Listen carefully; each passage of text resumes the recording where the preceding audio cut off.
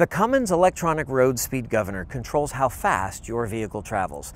This feature is programmed to a vehicle speed chosen by your fleet to maximize fleet safety and increase fuel economy.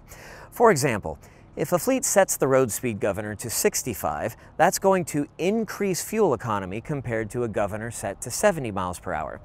A good rule of thumb is that at interstate speeds, Every one mile per hour you reduce the vehicle speed, you'll get a tenth of a mile per gallon increase in fuel economy. The road speed governor limits your maximum vehicle speed. The road speed governor directly affects the maximum speeds that you can achieve.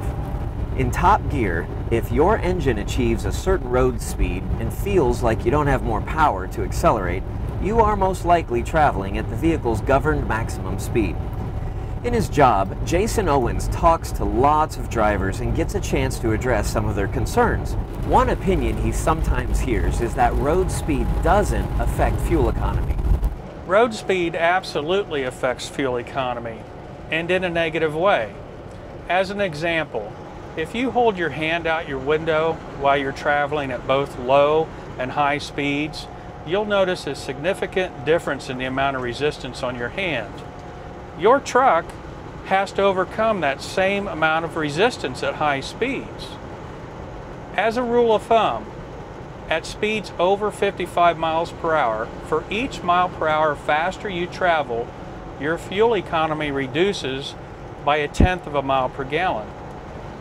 In other words, the difference between driving a truck 65 miles per hour and 75 miles per hour can be as much as one mile per gallon. With today's fuel prices, that equates to approximately $7,000 per year per truck.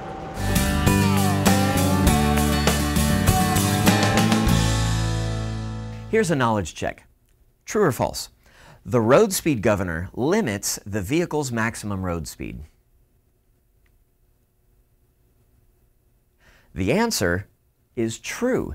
The fleet can set the road speed governor to allow a specified maximum vehicle speed.